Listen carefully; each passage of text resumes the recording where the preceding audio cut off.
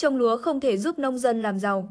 Tiến sĩ Vũ Thành Tự Anh, Giám đốc trường chính sách công và quản lý Fulbright cho rằng nông nghiệp là điểm sáng lớn nhất, nhưng không đủ vực dậy kinh tế cả vùng đồng bằng sông Cửu Long. Trồng lúa không thể giúp nông dân làm giàu và vòng xoáy này dẫn đến người lao động ở đồng bằng sông Cửu Long phải di cư. Tại buổi công bố báo cáo kinh tế thường niên đồng bằng sông Cửu Long, đồng bằng sông Cửu Long năm 2022, chuyên gia kinh tế Phạm Chi Lan cho biết, những thông tin từ báo cáo giúp thức tỉnh được nhiều các vấn đề về nông nghiệp của đồng bằng sông Cửu Long. Báo cáo chỉ ra những điều làm chúng ta thấy đau, đó là những vũng trũng hay là vòng xoáy đi xuống cả về kinh tế, xã hội, môi trường.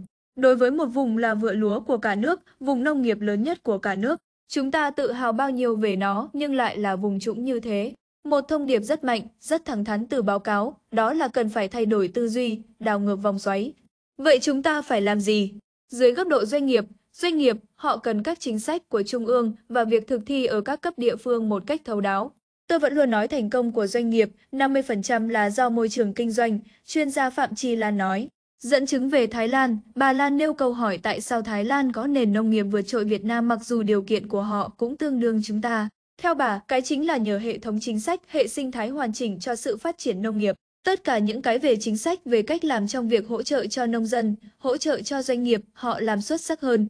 Chuyên gia Phạm Chi Lan cũng lưu ý, muốn thay đổi trước hết phải thay đổi về tư duy.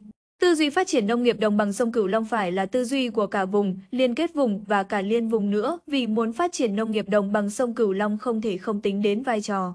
Sự kết nối vô cùng cần thiết với thành phố Hồ Chí Minh và Đông Nam Bộ và với các vùng khác trong cả nước. Điều quan trọng nữa là phải tính đến lợi ích của nông dân, của doanh nghiệp.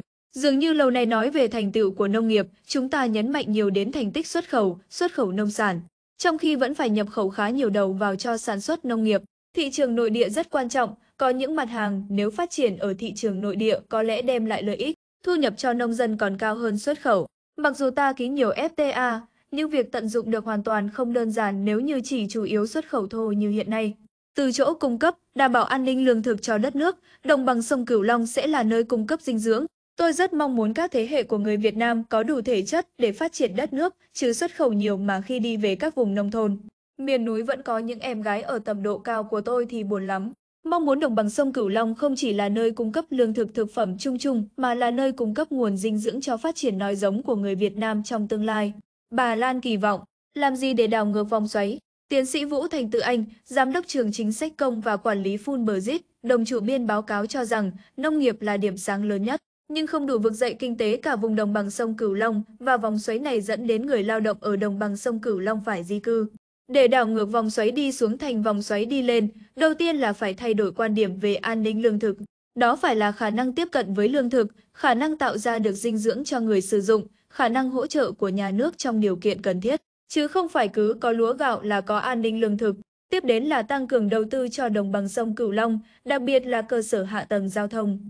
Đồng thời, tăng chất lượng, số lượng nguồn nhân lực để đảm bảo khi các nhà đầu tư đến thì có sẵn nguồn lực về lao động để đáp ứng được nhu cầu.